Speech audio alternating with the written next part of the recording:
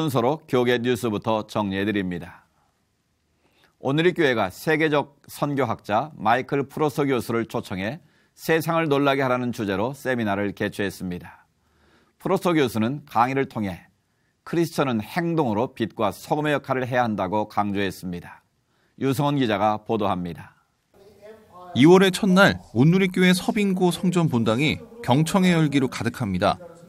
호주에서 사역하고 있는 선교학자이자 성경적 공동체 지도자인 마이클 프로스트 교수가 세상을 놀라게 하라를 주제로 강의에 나선 것. 프로스트 교수는 성경적 진리와 체험적 진리를 모두 담아 강의했습니다.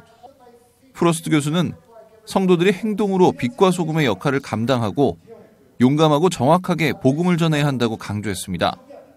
특히 하나님 백성의 선교적 삶을 통해 세상이 놀라게 되는 일을 경험해야 한다고 전했습니다. But our lives should surprise our neighbours so they want to know why we live the way we live. 호주 시드니의 유흥가에서 음주로 인한 폭력을 방지하기 위해 세워진 거리의 목회자들 활동을 했던 프로스트 교수는 길거리에서 슬프게 울고 있는 술 취한 여자아이의 곁에서 계속 이야기를 들어주는 것만으로 복음을 전할 수 있다며 어렵고 소외된 자들의 진정한 이웃이 되라고 조언했습니다.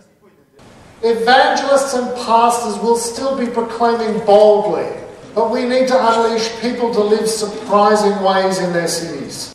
세상 사람들이 성도들의 삶을 보면서 하나님과 교회, 성경과 복음을 궁금하게 하라는 프로스트 교수의 강의를 통해 참석자들은 새로운 도전과 소명을 발견하는 시간이 됐습니다.